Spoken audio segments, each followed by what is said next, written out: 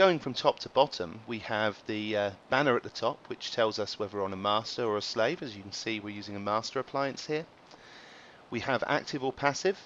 Um, this literally represents which appliance is currently hosting the virtual services. So the active appliance is dealing with the traffic, the passive appliance is there in standby mode waiting to pick up the traffic should the active appliance fail. And we have link, which you'll currently see isn't lit up because I don't have a slave with this deployment. But when you have a slave and a master talking together in a cluster, that will be green as well to represent that. Underneath there, we display our virtual services themselves, or VIPs as they're commonly called. Um, I've got three here in different states, and um, you'll notice the first one is, is yellow, meaning that there's a warning. So this will generally mean that there's a down server or something's not quite right. Um, we also have a status uh, color of red, which means that all servers are currently down. Um, so with this one here, we can we can see that we've got um, a couple of down servers and one in a maintenance mode, which is why it didn't quite go red. Um, underneath there, we've got a simple VIP called Web Cluster, single server, it's passing health checks and working. And in front of that, we've got a, a WAF VIP, um, which actually relates to the same thing of Web Cluster. What's important here is you can see the ports and IP addresses that we're using, um, number of connections going through the service, which protocol, which method and which mode are in operation.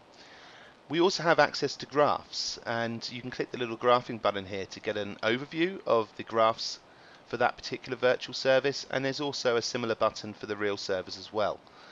Um, underneath there we move on to the three system overview graphs which are quite literally um, the state of the current system in terms of network bandwidth, system load average, and memory usage. This is where you'd really want to just monitor whether the machine is coping with load and running out of memory or, you know, saturating your uh, network links. Just briefly, I'm going to take you through the menu system on the left here.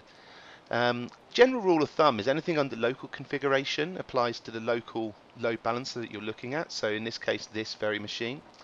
Uh, we can set various settings under here from our host name, network configuration, routing, play with SSH keys, date and time, a few extra settings which relate to the specific box which we've buried under physical advanced configuration, SNMP configuration, graphing, licensing, and the ability to execute a shell command. Um, generally you won't do that unless you're working with support.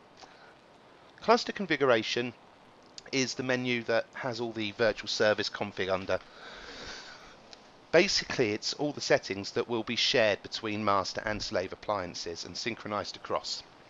So here's where you'd configure your layer 4 and layer 7 services, your SSL terminations, build a pair using the high availability wizard, WAF config, GSLB config, and floating IPs. I'll pay a special note to floating IPs. Floating IPs are um, generally VIP IPs, virtual service IPs. They're the IP addresses that will be owned by both master and slave, so they float between the two appliances. In general, most floating IPs will always be a virtual service, but you do have the ability to add additional ones for um, use as a default gateway, say, when you're doing NAT mode. Under our maintenance menu, we have, you know, as you'd expect, many maintenance tasks from backup and restore to restarting services. System controls, so that's very much the ability to turn the appliance on and off. Firewall script, firewall lockdown wizard, and some extra web interface settings. These are settings like the ability to set the port and um, to allow only HTTPS access if you choose to. We also have the password section where you can change the um, web user interface password. The remaining menus I'll go through very quickly. I mean, basically it's the ability to view the configuration files themselves, which is incredibly useful if you want to actually look at what's underneath. Um, sometimes it's better to look there it, just to get an idea of what you think you've set up has been set up. But it's generally something you'd work with our support team um, when looking at various configuration files. Reports, um, again, this is a you know a bit a bit better than the system overview, not as pretty, but um, you know from here we can see various status reports, drilling down into a bit more information, who is actually connected or not connected, what is the state of those connections, and with the layer 7 we even have um, detailed statistics, which will show you all sorts of stuff. Um, from error rates to uh, you know uh, session rates and everything else all broken down in a nice table. Um, we also have the graphing menu here which um, expands out and allows us to pick various graphs for different virtual services as well as the system graphs. Now this is a more detailed view than what we had back on the system overview.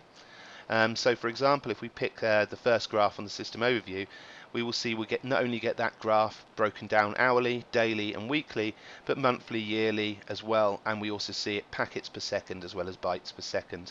Um, so again, it just allows you to drill down a little bit deeper. We have the logs menu, which is exactly what it says on the tin again. It's um, all of our load balancer logs.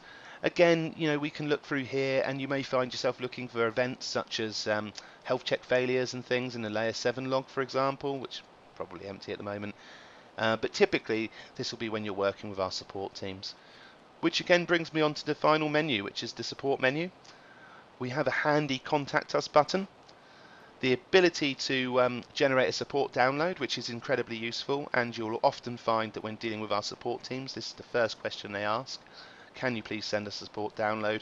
It gives us all of your settings, all of your graphs, and all of your logs, which allows us to then work better to help you.